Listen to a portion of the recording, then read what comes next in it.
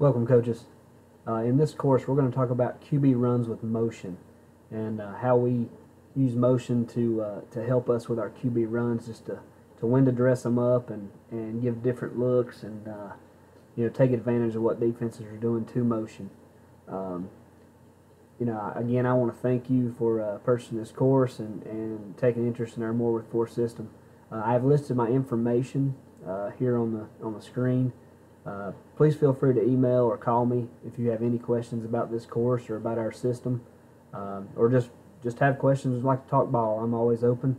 Um, I don't, you know, not everything's about money, so uh, you know I give out free information all the time. So if you'd like to just call and talk ball and and you know want to know a little bit more about what we do and, and how we do it, please feel free to uh, email or call. Uh, again, we're going to go through this course, coaches, and I'm going to talk about our motions and and uh, you know simple motions that we use. Also, you know maybe shifting the tail back down a little bit uh, into a sniffer look.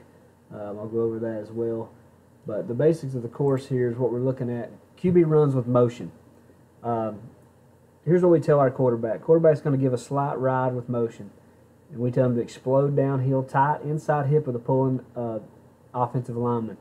Um, so we want him to you know, basically we're going to ride just a little, just give time for that pulling guard uh, to come around or, or, tackle, depending if we're what we're running, um, or H back. But we want to give time for that to to occur and, and for them to get up in that hole and, and uh, you know give us a nice little crease. Uh, motion man, we're going to carry out the motion uh, fake full speed. So we go in motion across. We want everything we that, that we do. We want it full speed, fast.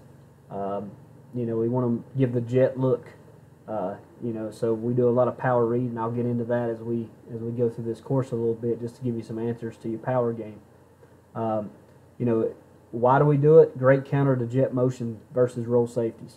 Uh, another one is linebackers flow with motion hard, so it's great. So if they're flowing with the motion, uh, you know, motions are a great answer with your QB runs. Uh, three base run schemes, gap away from jet motion. All right, so power, uh, tight end or open end uh, truck, tight end, dart, open end. Um, some of the clips I'm going to show you, coaches, will not have a tight end involved. Uh, some of the diagrams are going to have a tight end involved. Um, we do both, um, depending from year to year. You know what we think's better and and how we can formation people uh, to get what we want out of our uh, QB run game.